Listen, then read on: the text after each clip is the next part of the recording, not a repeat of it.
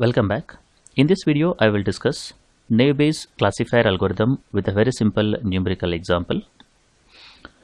Bayes theorem is the basic uh, building block for naive Bayes classifier. So first we will try to understand what is uh, Bayes theorem. The Bayes theorem is defined with this particular formulae where uh, probability of h given d is called as uh, posterior probability which is equivalent to probability of d given h that is uh, current probability probability of h that is called as uh, prior probability divided by probability of d that is the probability of the given data set. In this case uh, d is the data set. H represent an hypothesis from a hypothesis space here. So what we do in this case is uh, for all uh, possible hypothesis h in the hypothesis space we calculate the posterior probability using this particular formula and then uh, the one hypothesis which will give you the maximum value that will be considered as the final answer in this case. So that can be represented in the form of uh, formula like this. H map is equivalent to arg max of uh, probability of h given d that is nothing but posterior probability for all hypothesis in the set of hypothesis space over here. So we calculate this one for all the hypothesis the one which will give you the maximum answer as i said earlier that will be the final uh, hypothesis over here. Now this will be expanded something like this one. Uh, the same thing whatever is here i have written it over here. Probability of d given h probability of h divided by probability of d here. And uh, whenever you try to calculate this particular posterior probability this denominator is common for all the hypotheses because let us say that uh, the hypothesis is uh, uh, either yes or no if that is the case probability of d given is probability of yes divided by probability of d. If it is no probability of d given no probability of no divided by probability of d. So what happens in this case is uh, every time we are trying to divide this uh, numerator by the same value here. So rather than considering this one we will remove it. So the final uh, h map will become uh, arg max of uh, probability of d given h probability of h for all hypotheses in the hypothesis space over here now this is how actually the Bayes theorem looks like. Now uh, we cannot use this particular Bayes theorem to solve the real world problem because in this case uh, D is uh, uh, the data set over here. But in real world the data set contains multiple number of attributes and so on. So what we have to do here is we have to accommodate those particular attributes. Let us say that uh, there are some n attributes are there. They are represented like a1 a2 an so we need to accommodate this particular thing in the same formula and uh, we will say that particular resulting hypothesis as vmap in this case. So this is what is called as h map so what we do here is vmap is always equivalent to arg max of here we have written probability of uh, h given d. In this case h is replaced by vj. Vj is an hypothesis from set of all hypotheses over here.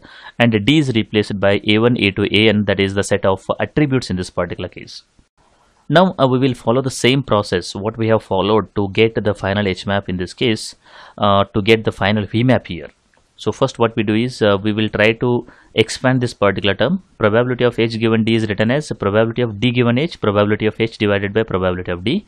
So in this case it will become probability of a1 to an given vj probability of vj divided by probability of a1 to an so wherever there is a d is there it is replaced by a1 to an wherever there is h is there it is replaced by vj in this particular case and denominator part we have removed here the same thing is done in this case also but coming back to this equation, if you look at here, this one is probability of Vj. So this can be written as it is, no issues.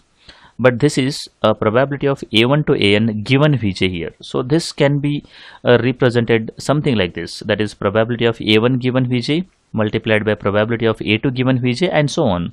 So because it's a multiplication term, I have written it as multiplication of probability of ai given Vj for all possible values of i in this case.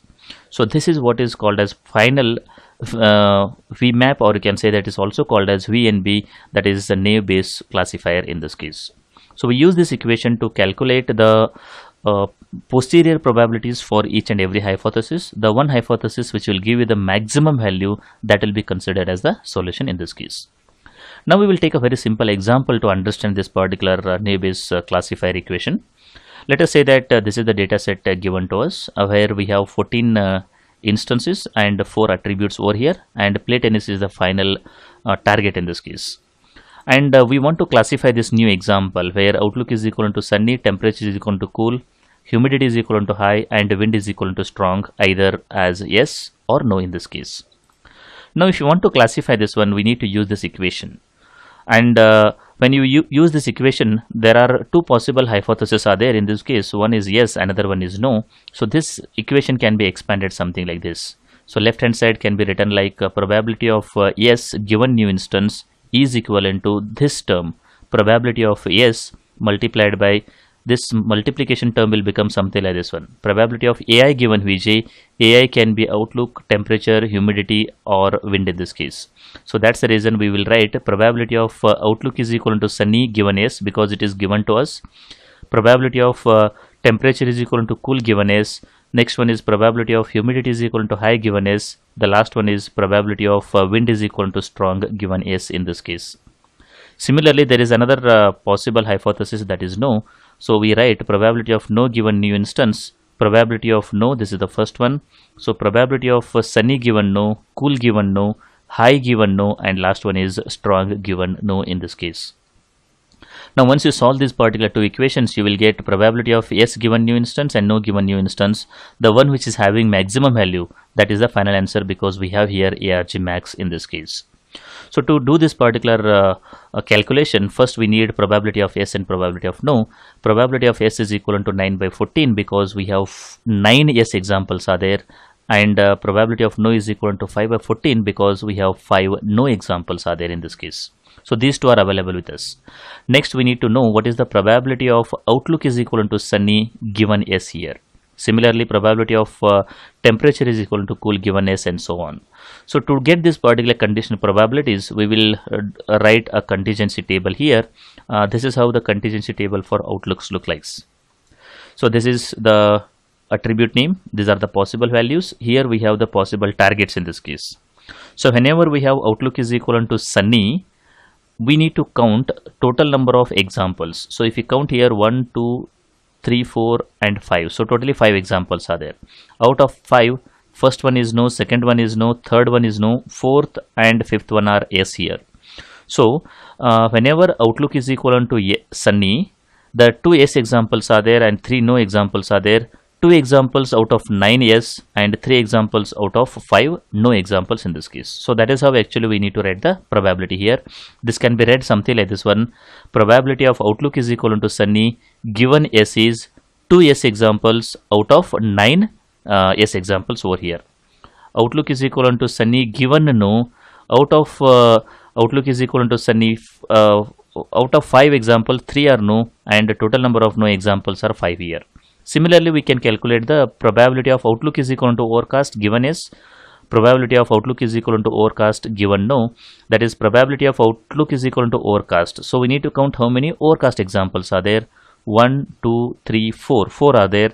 So out of four first one is yes second one is yes third one is yes and fourth one is also yes here. So outlook is equal to overcast given yes that is four yes examples are there out of total nine yes examples. Zero no examples are there out of total uh, five no examples. Similarly we need to calculate the one more probability here. The same thing is repeated for temperature humidity as well as wind in this case so once you calculate all these particular probabilities you need to put these particular values over here. That is probability of s is known to us that is 9 by 14 second one is probability of sunny is equal to sunny given s is required. That is probability of outlook is equal to sunny given s is 2 by 9 here. Probability of temperature is equal to cool given S is that is 2 by 9 uh, temperature is equal to cool given S uh, that is temperature is equal to cool given S is 3 by 9 probability of uh, humidity is equal to high given S that is again 3 by 9 and so on. So once you put all these values in this equation you will get the probability of uh, S given new instance is 0.0053 probability of no given new instance is 0.0206 in this case. Between these two the second one is more that is probability of no given new instance is more than probability of yes given new instance. Hence the new example will be classified as no in this particular case so in this video i have explained uh, what is uh, bayes theorem how naive bayes uh, theorem is adapted to uh, solve the real world problem with the help of naive bayes uh, classifier and uh, how to apply naive bayes classifier to the given data set to classify a new example into one of the classes I hope the concept is clear. If you like the video, do like and share with your friends. Press the subscribe button for more videos. Press the bell icon for regular updates. Thank you for watching.